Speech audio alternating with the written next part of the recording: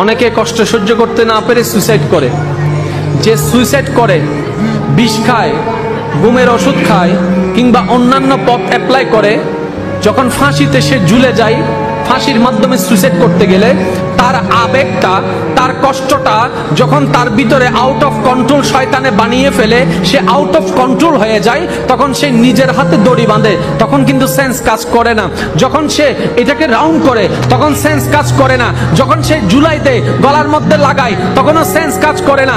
যখন সে জুলে যায়, পা থেকে চেয়ারটা সরাই ফেলে, যখন আর কোনো উপায় থাকে না, তখন শয়তান ওখান থেকে সরে যায়। সরে যাওয়ার পরে তার বিবেক তখন কাজ করা শুরু করে, তখন সে নিজেই বাঁচতে চায়, নিজেই ছুটতে চায়, কিন্তু আর কোনো উপায় থাকে না। তখন সে ভাবতে থাকে, আমি কেমনে করলাম? আমি কেমনে করলাম? কষ্ট তো আরও অনেকের জীবনে আছে। ওরা তো ঝুলে নাই। আমি কেন ঝুলে গেলাম? এই জন্য ভাইয়েরা, শয়তান থেকে সবসময় সাবধান থাকতে হবে। তাকে কখনো লাই দেওয়া যাবে না, পাত্তা দেওয়া যাবে না। সে আসার আগে রাস্তাটা বন্ধ করে দিতে হবে। এটাই হচ্ছে ইমানদারের কর্তব্য। ইমানদার শুধু বলবে, কষ্ট দিলেও আমি আল্লাহর, কষ্ট না দিলেও আমি আল্লাহর, সুবহান